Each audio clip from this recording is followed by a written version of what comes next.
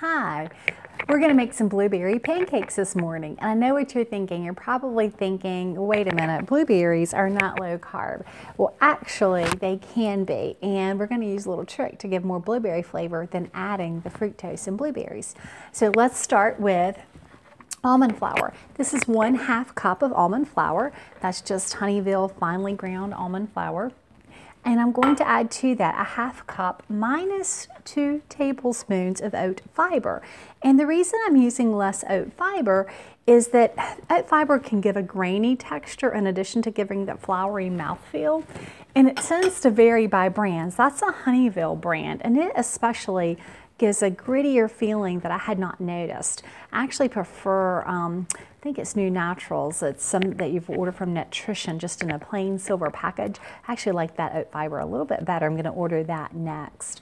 And then I'm going to add a third cup of whey protein isolate. Now I'm using the Isopure whey protein isolate. Um, this is unflavored. This is actually a vanilla flavor, so it's one third cup of that. I'm using the vanilla because I had it and because pancakes, that will work well, I think. Um, I'm gonna mix all my dry ingredients first. And actually, I forgot, the first thing we need to do, we had some trouble getting the camera set up, so I got a little off my game. But the first thing you wanna do is I have six ounces of heavy cream, and I'm going to add to that two tablespoons of apple cider vinegar. And that's the apple cider vinegar with the mother. You wanna do that first, so you should do that before you start doing your dry ingredients. And I'm going to set that aside. We're essentially making a low carb buttermilk by doing that. Okay, now let's go back to our dry ingredients. A half cup of almond flour, a half cup minus two tablespoons, just a short half cup of oat fiber, and one third cup of whey protein isolate. To our dry ingredients, we're going to add um, a quarter of a teaspoon of salt. I'm going to get out of order. Quarter teaspoon of salt we're going to add a half teaspoon of baking powder. This is my baking powder right here. okay. It's hard to tell sometimes when I get them into the little containers. After the baking powder, we want to add a half teaspoon of baking soda. So these are equal parts of baking powder and baking soda. And again, I'm mixing it with my dry ingredients. Um, why do I use both? You know, the baking soda is going to react with the vinegar that we put into the heavy cream. And so that will help give it some rise or lift. And then we're going to add a half teaspoon of glucomannan. Now, with the glucomannan, you want to mix it well. If it comes in with the dry ingredients, if it comes in contact with liquid, it can clump, and you don't want that to happen. So I'm to mix that in as well. Make sure that's mixed so it doesn't clump up on you. If you don't have glucomannan, it's just a thickener. It gives texture. You can also use xanthan gum. Xanthan gum is something that a lot of low carb households keep on hand. To this, I'm going to add one third cup of granulated sweetener. Now this is Sukrin 1, so it's a blend of erythritol and stevia. It does not have an aftertaste the way I've noticed with some um, erythritol blends. That is one third cup. If you want it sweeter, you can add more than that.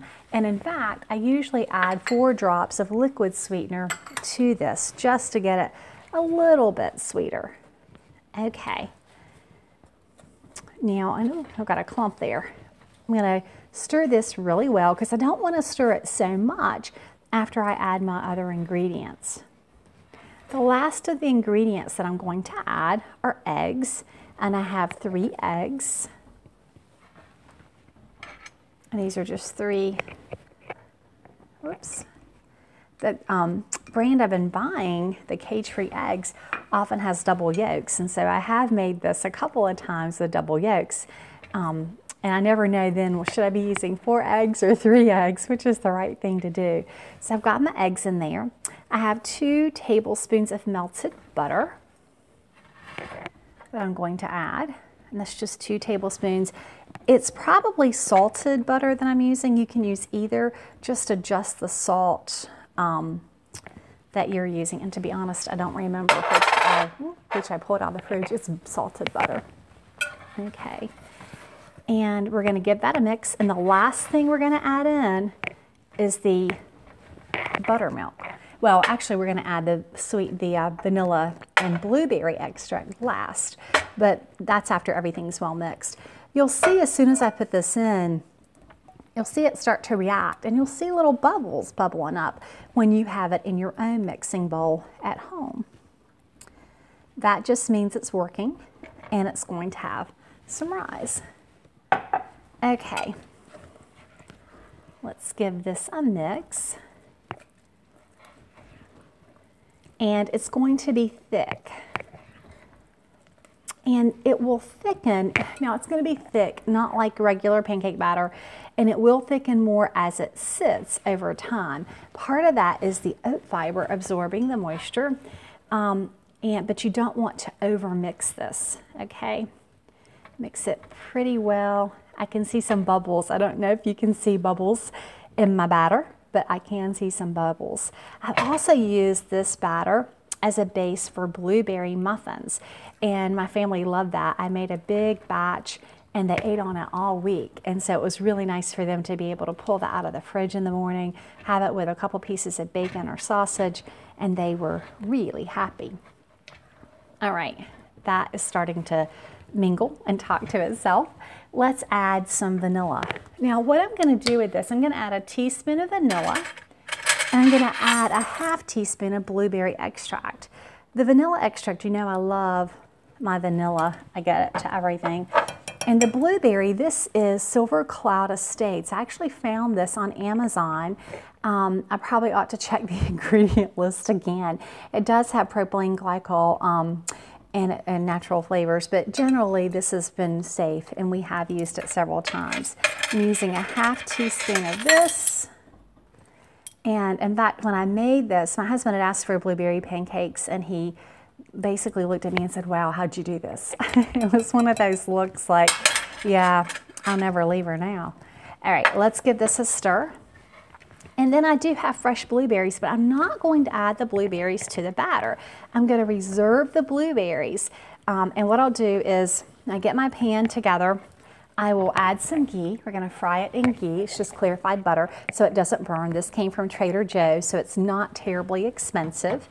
And then after I get them in the pan, I will take the fresh blueberries and I'll sprinkle just, and these have been washed, I'll sprinkle just three or four berries, depending on the size of the pancake, over the top. So you have that great little burst of blue, fresh blueberry, but you're not getting a lot of carbs um, by adding them in. Don't want to add them in the batter because they kind of get lost in there. So I do add them one at a time.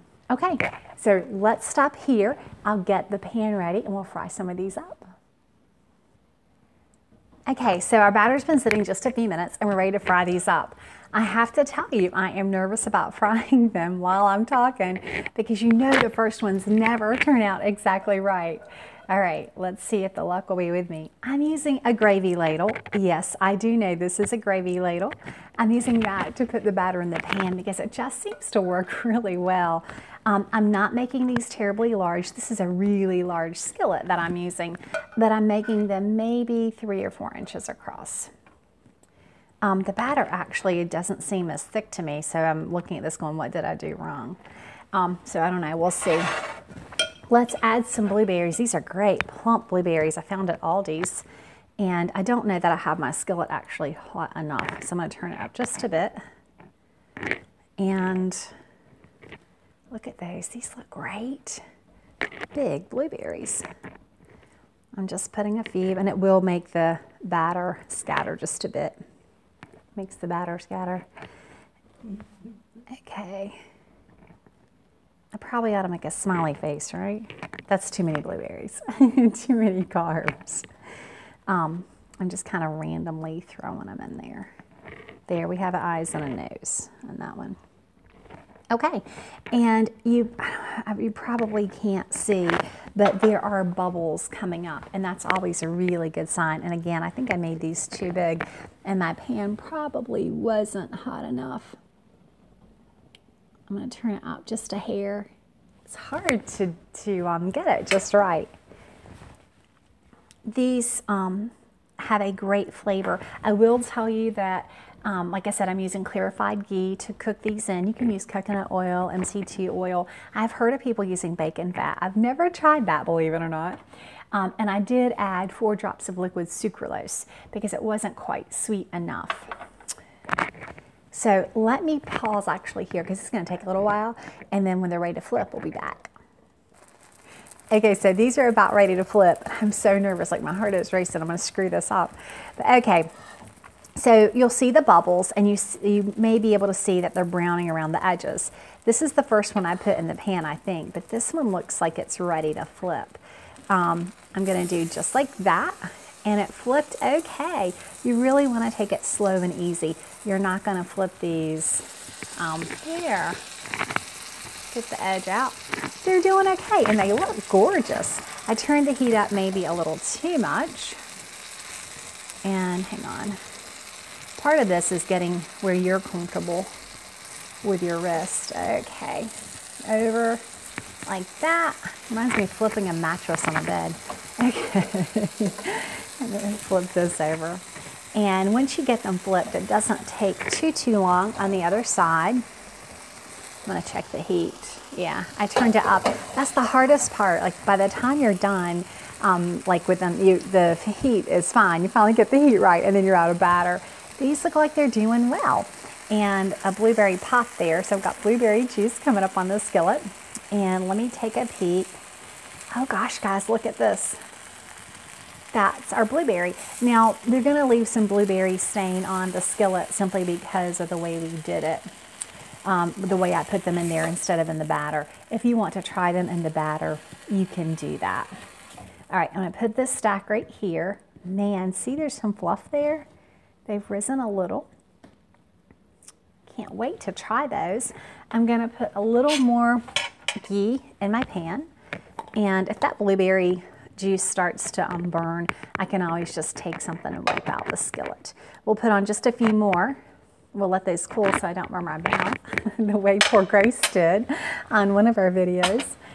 Okay, and again, you wanna make them fairly small the heat should be better. When I put it in, I don't know if you heard this sizzle, but there was a little sizzle, which is kind of nice. Not gonna make these quite as large. They flip easier. And I'll have to calculate the carbs on these. The carbs are gonna come primarily from the almond flour.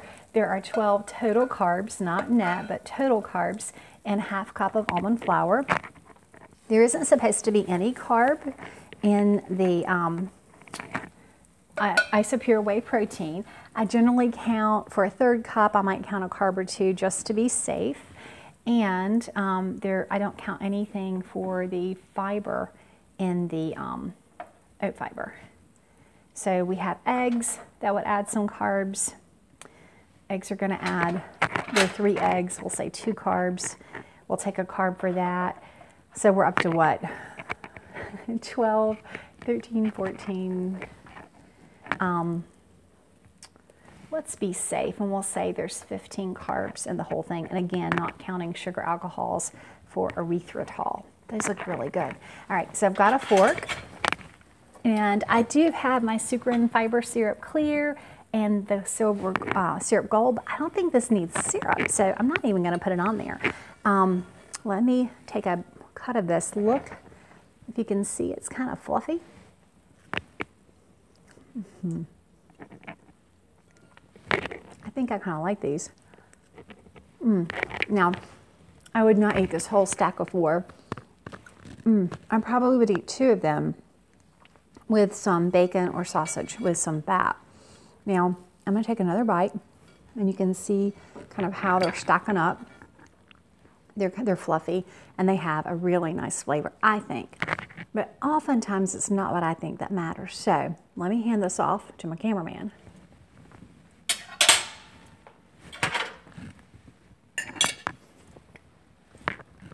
Mm, I just breathed in a blueberry.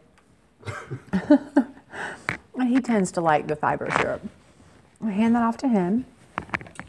And this whole recipe will make over a dozen pancakes. I think I got 16 last time. You can tell I'm doing four per pan. And I probably haven't even used half of the batter. It doesn't need syrup. they are delicious, and you can't ever leave me. It's he only loves me for blueberry pancakes. I hope that if you make these for your family, that they enjoy them as much as mine do.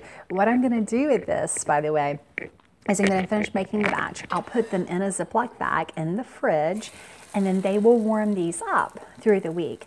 And so I get to be the hero, not just today, but I get to be a hero through the week because they have fresh homemade blueberry pancakes. Well, it's not fresh, but homemade blueberry pancakes every day of the week.